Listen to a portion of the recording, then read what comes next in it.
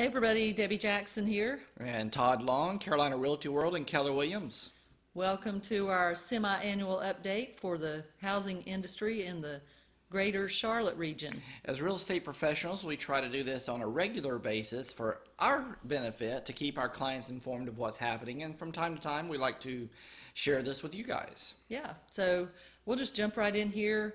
Uh, you see those quick facts there on this page. Year over year closed sales negative 4.2% change. And a lot of times you'll hear in the media that the the closed sales are down for the year. Yeah, or- our closed sales are up, but they always Yeah. talk about the closed sales. Yeah, and, and they don't give you any background on why that's happening. Right. So the closed sales are either up or down because either buyers are buying or not buying, or sellers are selling or not selling. And often the media tries to make out like when closed sales are down, it's because buyers are not buying.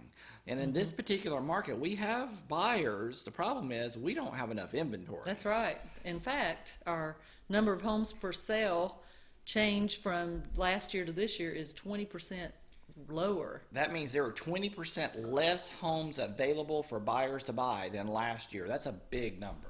And let's look at that other number too, the median sales price. We are up 9.5% since last year at this time. So our median sales price in the greater Charlotte area is $235,000.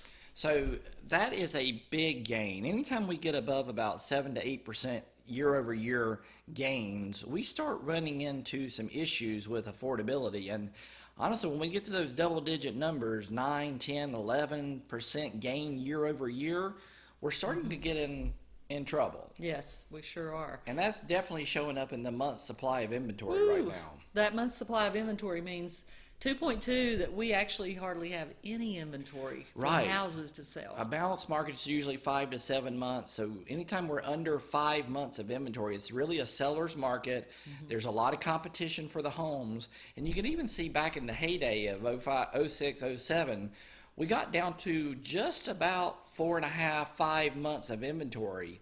And look, wow, just look at that number now, down around two months of inventory. That is basically no inventory. yeah, it's barely showing on the graph. right. we can't be negative, so it won't go too much farther There's down. always going to be something available to sell, and yet two months of inventory means that there's just not a whole lot of inventory out No, there. there's really nothing. And then we'll look at this housing affordability index, and uh, this is what that. You know, I know you hear that a lot on the news as well. And the housing affordability index, and this is only for our region that we're looking at, and uh, that is the measurement of housing affordability for this region.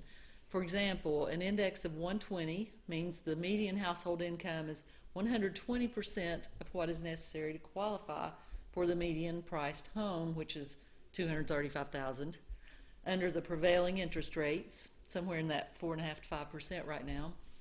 And a higher number means greater afford- affordability.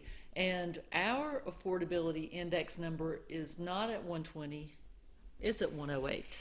Right. We're at 108 for the year, and you know we saw in 2007, 2008 we dipped below 100% for a brief period, but that was when we were doing those no income, no asset verification loans. Basically, they were lending to people that could not afford the homes that they were buying. That's right. And that did not last. No, it didn't.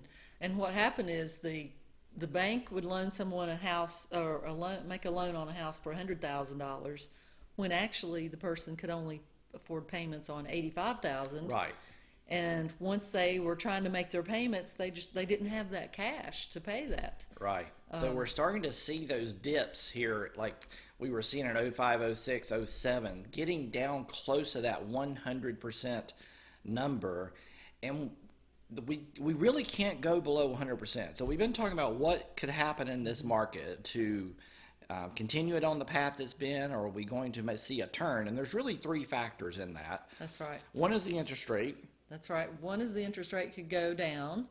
The other is um, the in, your income could go up. We could see incomes go up, and that's possible. Mm-hmm. We're seeing some better jobs come into this region, better paying jobs.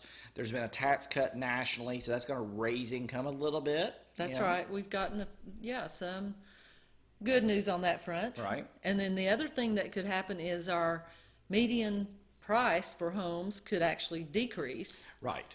So interest rates either have to go down, incomes have to go up, or the prices will go down.